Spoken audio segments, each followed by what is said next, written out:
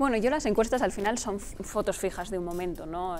Yo nunca me las termino de creer, yo sí que veo y lo que creo que podemos comprobar todos cuando salimos a, la calle es un cambio de tendencia claro. Eh, yo creo que aquí hay una persona que no puede pisar precisamente la calle, que cada vez que se baja del Falcon y va al sitio donde tiene que ir, lo tiene que hacer escoltado, donde siempre recibe eh, pitadas, donde siempre encuentra eh, críticas y personas que le reprochan la mala gestión que hace al frente del gobierno es Pedro Sánchez. ¿no? Y yo creo que la calle es soberana en ese sentido y no hay mejor encuesta que pisar la calle y que palpar el pulso de, la realidad. ¿no? Eh, y lo vemos, lo, lo, podemos observar todos como eh, no hay mejor encuesta que esa, que no hay mejor manera de saber cómo está el gobierno de España. Y yo creo que eh, hay una alternativa clara, nos guste más o nos guste menos en torno a, la situación que tenemos actualmente y es el Partido Popular. Y yo creo que es el cambio de tendencia que estamos viviendo.